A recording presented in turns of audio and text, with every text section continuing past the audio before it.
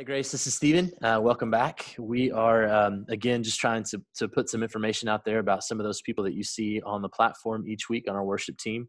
Um, and with me today is Mark Varnadore. And, and uh, uh, Mark, tell us a little bit uh, about yourself and uh, what you do for a living. Um, uh, you, have, you know, just, just talk to us for, for a few minutes. Help us get to know you. Well, um, I'm Mark, and um, you'll you see me up there every once in a while playing bass. Um, and uh, I've been playing with Grace for several years now. Um, I've kind of have a uh, pretty pretty long history doing worship band. I mean, and playing music too.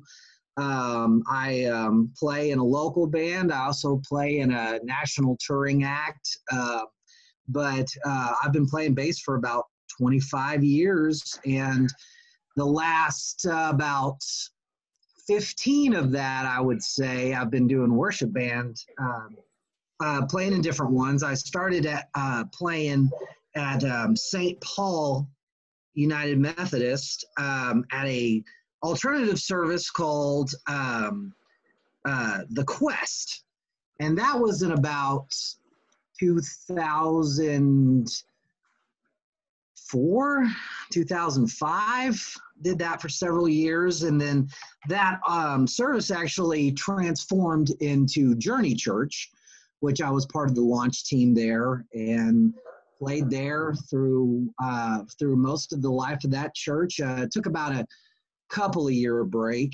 Um, and then uh, then that church disbanded and then i was kind of left churchless. Um, my dad's a pastor, and he pastors. He well, he's retired now, but he was pastoring at a small church in uh, Paris, Arkansas. But that was a little far to go, and it was kind of a little bit of a more of an old school congregation, and I was kind of used to more praise and worship style, you know, and. Um, so uh, some friends of mine um, started going to Grace, and I checked Grace out and immediately thought it was great. Uh, probably attended church there for at Grace probably for about a year or so before I decided to get back in doing worship. And uh, so then at the time it was um, Ashley who was doing the worship leading and I talked to her and did a quick rehearsal and then just kind of started playing. And uh, i've been going i've been doing it pretty fairly steady since then. So for the past and time's gotten away from me. I'm guessing maybe six seven years something like that. It's crazy. I mean it, time just goes by you know? Yeah it, it, it's amazing the uh, the connections also that that you make um, because what's what's awesome about uh, about Journey is is that I knew Rob real well, and yeah. Uh, yeah, yeah. And so I remember when when Journey was was starting off, and um, I know Ken also uh, Ken Lawson yeah. and you, yeah, mm-hmm. yeah, yeah. Uh, and, and, so uh, I just that, it's just funny the connections, and then you and I had classes together. Yeah, yeah, yeah, yeah, yeah, Back in the day. Well, you know, yeah, at a, at a UAFS, so that's right, man. Psych, psych classes. I remember that. that's right. Yeah, yeah, yeah. That's right. Uh, it, I remember when we came into Grace, and I remember seeing you, and I was like, I know you. Yeah, yeah. that, that was awesome, man. Yeah, um, yeah. It's funny though. I didn't know at the time that you actually that you played bass. Yeah. Yeah. Yeah. Twenty five um, years now. That's so cool. Been cool. Playing. Man. Yep. Yep. So that's so cool.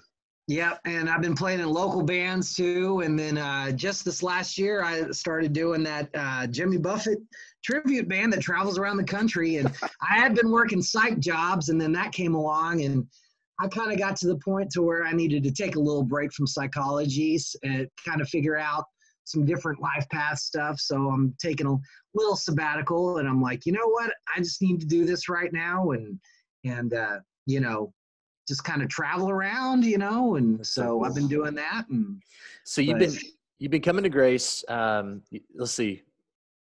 So we've been there for it'll be six years in January, and wow. um, I know, I know, and so I know that you were on the worship team before that, and you'd said earlier that you came on board when Ashley was the was the worship uh, mm-hmm. pastor at the time, and so that's got to be at least. I mean, and you were there for I would say a few years before I mean, while she was there, weren't you? Uh, yeah, it was about probably I don't know about three, two or three years, maybe. So I would say, so if you were there about seven years, you said I'll be there. It'll be six years in January. six. So yeah, about eight or nine years. That's so awesome. Wow, I can't. That's that's mind blowing. That's so really, cool. when you say that's almost a decade. I know, I know, right? Yeah. So, if but if you can think back on your time at Grace, uh, tell me about one of your most memorable experiences. It doesn't have to pertain to worship, but just what's one of your most experience, uh, once uh, one of your most memorable experiences at Grace? Well, let's see here. Um, I would say one of my most memorable experiences right before Ashley left, um, we did a really big Christmas deal where everybody did percussion, and we were kind of Little drummer boy. yeah, we were drumming on on uh, some plastic barrels, and we did Yeah. some little kind of choreography and stuff. And uh, I was a little apprehensive about. my. Like, I don't know, I'm not a percussionist, whatever. But you know, I just kind of rolled with it and did it, and it was really interesting. That was great. Yeah. Um, you know, that was very memorable. Uh, Mhm. Just just stepping outside of the box, doing different things. Yeah, Um, I, I remember watching that when I when I first Yeah. came on staff. I remember going back and, and looking at some of the creative things that had been done, and man, that one just blew me away. It was really, really, really well done. Um, yeah, and it, it, it felt really cool to be a part of that. Just something outside of the box, something different I hadn't really done before. Rather than, I mean, of course, every Sunday special, you know, Sure. because I mean, you're you're up in worship, and you know, there's a lot of intimate moments that you have. That you know, there's there's a lot of them, you know, and so of course, there's numerous moments like that. Um, Sure.